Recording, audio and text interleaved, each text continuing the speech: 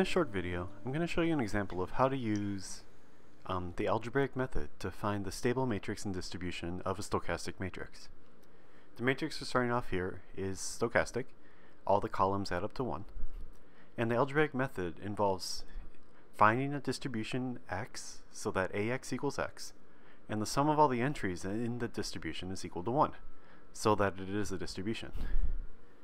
So we're looking for an x that looks like, well, it's going to be two entries, and it's going to be xy. Um, that's what we'll call it. The sum of the entries equaling 1 just means that x plus y has to equal 1. That will make it a distribution. ax equals x is matrix multiplication.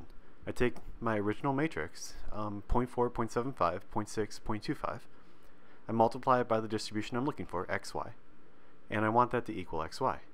This condition allows the matrix to be stable with this particular distribution. If I simplify this a bit, I'll write out the actual equations for the matrix multiplication. My x plus y equals 1 is the same. If I multiply across, it'll be 0.4x plus 0.75y has to equal x, or the top entry in the last matrix. And then 0.6x plus 0.25y will have to equal y.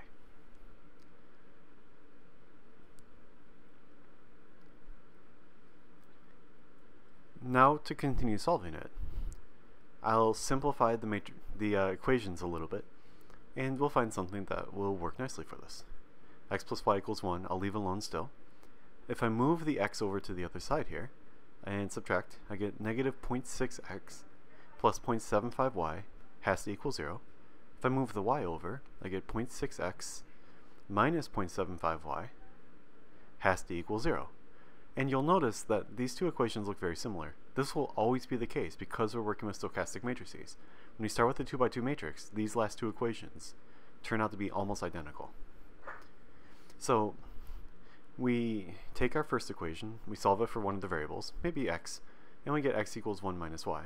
We can plug this into either of these other two equations, and we end up with 0.6 times 1 minus y minus 0.75 times y has to equal 0.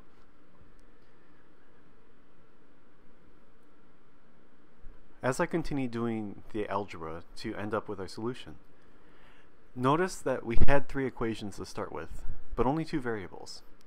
These types of systems are called overdetermined because they have too many equations for the number of variables that there are.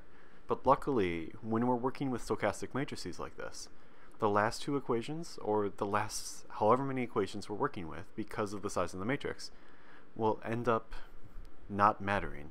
They're going, well, they're going to matter, but they're only going to contribute enough information so that the system will have a solution.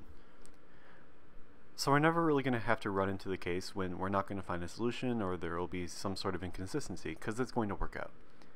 So we got down to the solution here and y is equal to 0.6 over 1.35 which we can just write a decimal down or if we want it in terms of fractions we do a little bit of reduction and we end up with y equals 4 ninths. Once we have our y value we can plug this back into the x um, right up here to find out the corresponding x value. So if y is equal to 4 ninths, x is going to be 1 minus 4 ninths, which is 5 ninths.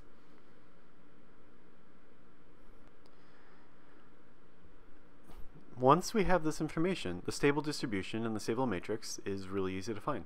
We have our x and our y value from solving the system of equations, so our stable distribution is nothing more than that x and that y value. It's 5 ninths and 4 ninths in this case. The stable matrix is just going to be a couple of copies of the stable distribution. In this case, it's a 2 by 2 matrix, and so we're looking for two copies of my distribution. 5 ninths, 5 ninths, 4 ninths, 4 ninths. And that'll be my stable matrix. If I took the original matrix to a high power, this is what I'd find.